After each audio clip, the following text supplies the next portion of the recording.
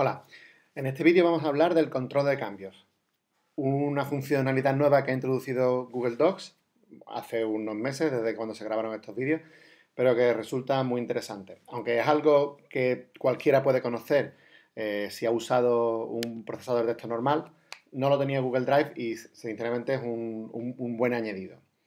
El control habitual está aquí, donde elegimos el modo. Por defecto sale el modo de edición, y tenemos tres modos, sugerencias o visualización.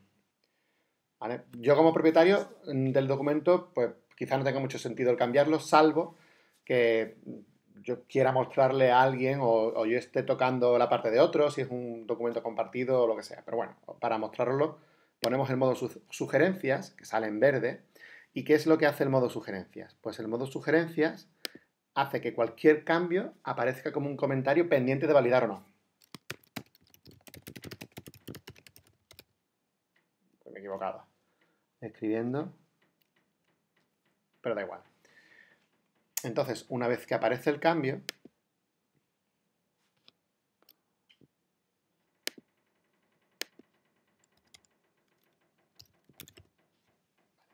sale con el color de la persona, eh, el color asignado a la persona, en este caso yo, y veis que aparece como un comentario en el que se dice lo que se ha hecho, que he añadido este texto, suponiendo que haga otro cambio del tipo borrar, como aparecería en, cualquier otro, sale tachado con mi color y aparece que he eliminado eso. Y si hago algún cambio de formato, pues igual, aparece como un cambio de formato. ¿Cómo aparecería esto para la otra persona? Así. Entonces, imaginemos que el, este cambio me parece bien y lo valido, se queda. Pero este, esto que me ha borrado no me gusta, lo quito y permanece. Al igual que el espacio que he añadido tampoco me gusta, lo quito y desaparece. Visto así, diréis, bueno, pero el tener que activarlo es una desventaja. Si vamos a compartir y le cambiamos los permisos a una persona y le ponemos que solamente pueda comentar, automáticamente esa persona va a estar en modo de sugerencias. Anteriormente, cuando una persona no podía, solamente podía comentar, no podía tocar el texto, no podía escribir aquí dentro, solamente podía hacer comentarios.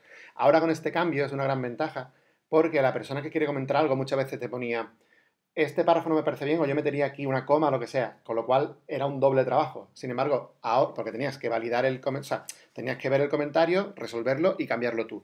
Pero ahora la otra persona te puede hacer cambios que tú visualmente los ves y aceptas o no. Vayamos aquí. Voy a refrescar para que se vea bien el cambio.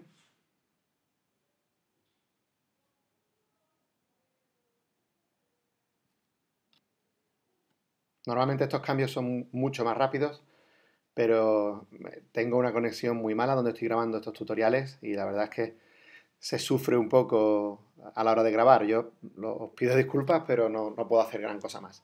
Como veis, ya aparece aquí en verde, donde está tu guion, diciendo que estás sugiriendo. Cuando termine de cargar toda la barra superior, veréis que en vez de poner modo edición, va a poner eh, sugerencias.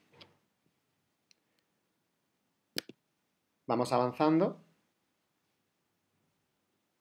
Y voy a meter aquí algunos cambios. Como veis, estos errores que están puestos queriendo,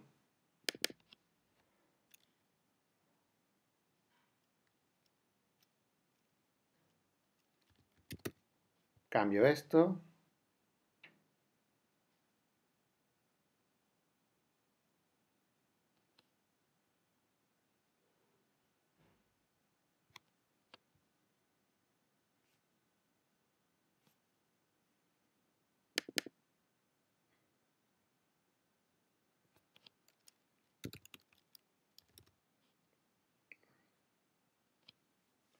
Cambio esto.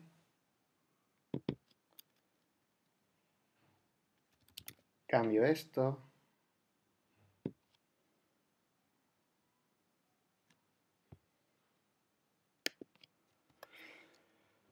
Y añado un punto más.